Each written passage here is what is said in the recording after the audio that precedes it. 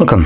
In front of me is a Redmi 13C and today I will show you how you can import your contacts from the SIM card to the device. So to get started, you will want to open up the standalone uh, contacts application which is located in the Google folder. From here, just disregard that, you most likely will be located on the Contacts tab. So what you want to do is select Fix and Manage and then Manage SIM. This in turn will display all the contacts that are located on your SIM card.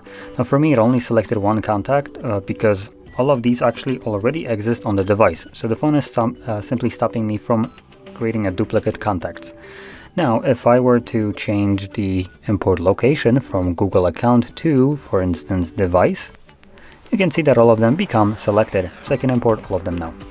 Obviously you can deselect contacts that you might not want and from there click on the import button.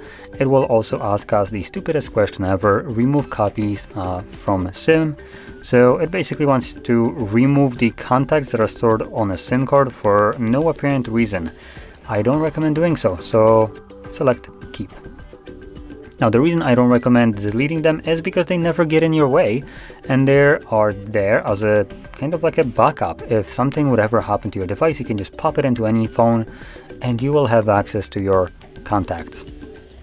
Anyway, now when we navigate to contacts list, uh, depending on where you have imported your contacts to, you might need to change the display location. So you do so by clicking right here, this corner, and then selecting, for instance, the device, which is where I have imported my contacts. And you can see that it's now displaying all the contacts here that I have imported. So there we go. Now, if you found this video helpful, don't forget to hit like, subscribe, and thanks for watching.